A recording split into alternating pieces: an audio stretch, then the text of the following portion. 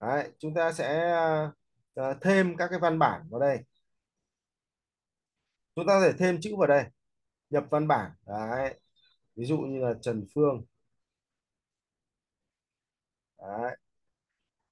Chúng ta nhập văn bản vào đây được chưa rồi trong cái văn bản này đấy thì một là chúng ta thêm chữ hai là chúng ta tách giống như là video giống như hình ảnh bình thường ba là phong cách chúng ta nhấn vào phong cách. Thì trong phong cách này chúng ta có thể thay đổi được dạ được những cái phong cách mà nó đã dạ, cài đặt sẵn ở đây. Dạ. Hoặc là chúng ta có thể thay đổi màu sắc ở đây. Chúng ta có thể di chuyển tìm được cái màu mà mình mong muốn bằng cách nhấn vào cái bảng màu này. Được chưa chúng ta có thể lấy cái màu gần nhất với cái màu mà chúng ta mong muốn. Ví dụ như cái màu xanh này. Được chưa hoặc cái màu hồng này, hoặc màu trắng này, hoặc màu đen này. Được chưa mình chọn cái màu có sẵn ở trên gì ạ? Ở trên cái khung hình của mình. Đấy, hoặc là chúng ta chọn những cái màu ở đây, hoặc là những cái màu mà trên này. Chúng ta cũng có thể là gì ạ? Chúng ta cũng thể là tăng kích cỡ lên, hoặc là gì ạ? Làm giảm cái độ mờ đi. Tăng nét lên hoặc cho mờ đi. Được chưa đấy ngoài ra thì chúng ta có thể có có viền, màu viền. Đấy. Rồi chúng ta có thể làm gì ạ? Làm cho nó rực sáng. Đấy. Màu của cái rực sáng. Được chưa cường độ rực sáng, chúng ta đều có thể điều chỉnh được hết. Tiếp theo nữa là gì ạ? Về phông nền. Chúng ta có thể thêm phông nền cho hình ảnh, thay đổi gì ạ? Màu sắc của phông nền. Và gì ạ? Kiểu định dạng phông nền. Cái dạng này phông nền này nó rộng hơn còn phông nền bên này thì nó ít hơn. Đấy chúng ta thay đổi về độ mờ độ đậm của phông nền. Được chưa thay vì chúng ta phải dạ chúng ta phải à, chọn một cái ờ, hình chữ nhật xong rồi chúng ta chỉnh chỉnh chỉnh chỉnh nó đưa nó thành một lớp thì chúng ta làm luôn cái phông nền ở đây. Được chưa đấy chúng ta có thể là dạ à, cho nó bo góc cho nó tròn lên hoặc là dạ cho nó thành hình chữ nhật. Được chưa đấy chúng ta có thể cho tăng cái chiều cao lên đấy hoặc là giảm đi được chưa chúng ta thể tăng chiều rộng lên. Đó, hoặc là giảm đi. Được chưa đấy, chúng ta thể di chuyển cái phông nền lên trên hoặc xuống dưới. Đôi khi cái phông nền nó lại chị ạ nó chị nó phong cách nó kiểu nửa nửa nửa chừng như này. Đấy hoặc nó lên hẳn lên trên này. Được chưa hoặc là căn ở giữa. Rồi. Chúng ta có thể di chuyển ngang cái phông nền này ok không ạ? Rất nhiều tính năng đúng không ạ? Ừ. rồi. Chúng ta có thể đổ bóng. Đấy. Đổ bóng cho cái chữ tăng độ mờ của bóng. Đấy. Rồi, tăng cái khoảng cách của bóng. Đấy, anh nhìn, anh chị em nhìn thấy cái bóng ở phía sau không ạ? Thay đổi cái góc độ góc độ của đổ bóng của chữ. Ok chưa ạ? Thay đổi hình uh, màu sắc của bóng. Đó. Đấy độ mờ này càng mờ này lên đây là càng rõ này xuống đây càng mờ này. Được chưa rồi. À, bố trí. Chúng ta có thể bố trí là gì ạ? À, chữ là nó theo cái cái chiều dọc hay là chiều ngang hay là nó theo các cái phông chữ khác nhau. Đấy nó có tỷ lệ to nhỏ. Được chưa ạ? Đấy ký tự. Khoảng cách giữa các ký tự là gì ạ? Gần hay xa? Được chưa ạ? Hoặc là chúng ta gì ạ? À, thêm cái đường kẻ. À, cái này nó không rõ. Ok không ạ? Rồi chúng ta có thể là gì ạ? Chọn in đậm in nghiêng hoặc gạch chân. Được chưa ạ? Đấy. Chúng ta có thể chọn là gì ạ? Chữ hoa hoặc chữ thường. Cái này nó tùy vào gì ạ? Tùy vào phông chữ nhé phông chữ này là phông chữ viết hoa, cho nên mình không chọn chữ thường được. Vậy mình có chọn chọn là hai cái chữ T này là tất cả là chữ viết hoa hết. Hai cái chữ T này là tất cả viết thường hết. Còn chữ T lớn, T nhỏ này thì chữ đầu viết hoa và và những chữ sau là viết thường. Ok không ạ? Anh chị em thấy có nhiều tính năng không ạ? Tiếp theo nữa là vào phần hiệu ứng.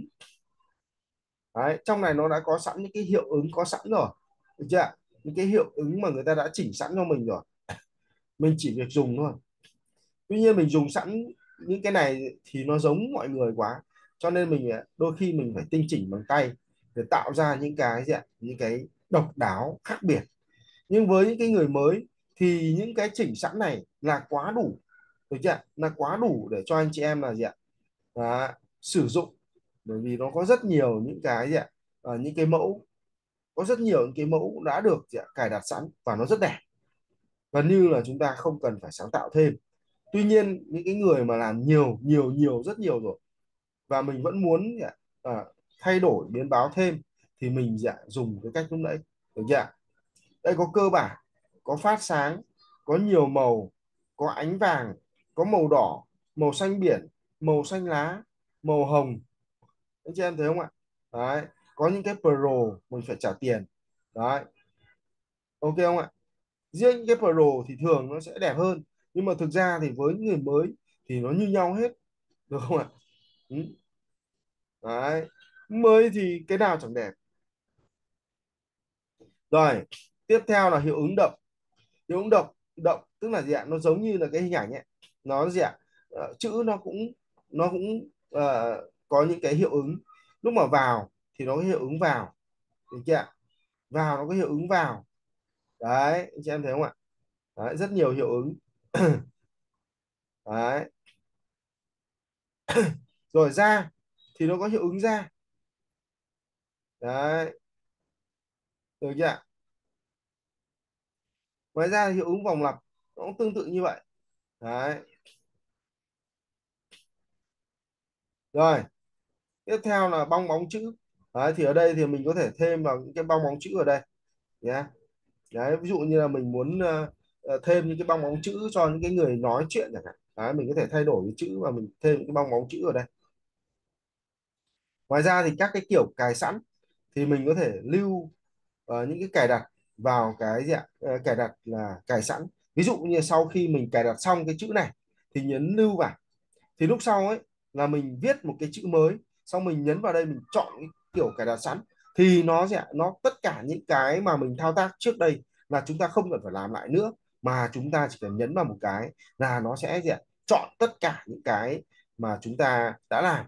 Đấy, ví dụ ở đây là Huy chọn thêm cái chữ nữa ví dụ như là Quang Huy chẳng hạn. Đấy thì làm sao ạ? Nó ra cái cài đặt sẵn luôn này.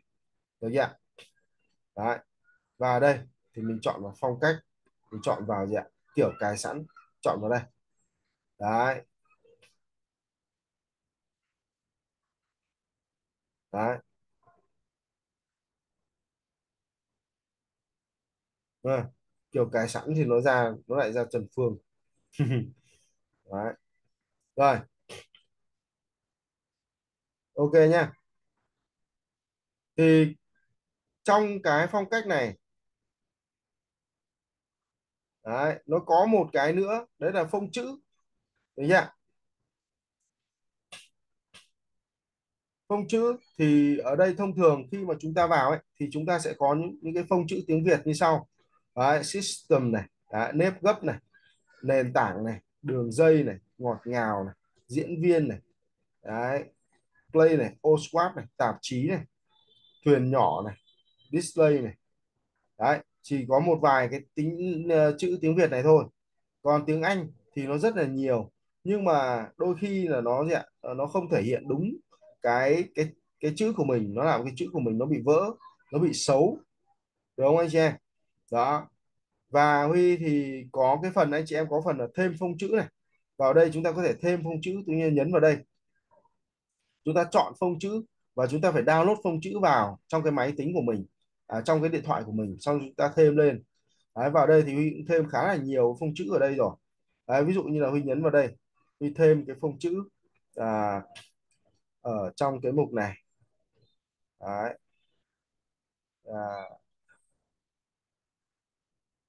Huy đã à, thêm à, rất nhiều phông chữ. Và Huy cũng đã à, mỗi lần chỉ thêm được được 9 phông chữ thôi anh chị em nhé và Huy đã tổng hợp được một cái bộ là khoảng hơn 1.000 phông chữ tiếng Việt vô cùng đẹp. Đấy. Anh chị em nhìn nhé đấy. rất nhiều phông chữ đẹp. Đấy mình chọn cái thằng này đi. Đấy anh chị em nhìn thấy không ạ? Rất nhiều phông chữ tiếng Việt đẹp. Khoảng hơn một nghìn phông chữ tiếng Việt đẹp xuất sắc. Đã được Huy uh, sưu tầm. Ừ. cái này uh, bình thường anh chị em ở trong các cái uh, uh, các cắt thông thường không có đâu được chưa ạ? Và ít người chỉ cái phần này lắm. Đấy anh chị em thấy không ạ? Rất nhiều các phông chữ đẹp nhá rất nhiều luôn. Đấy anh chị em thấy đẹp chưa? Đấy đấy ví dụ như thế.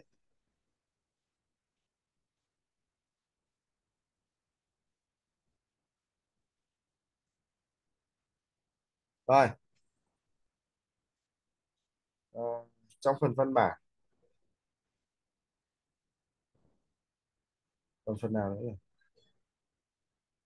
ok trong phần văn bản về cơ bản như thế nhá.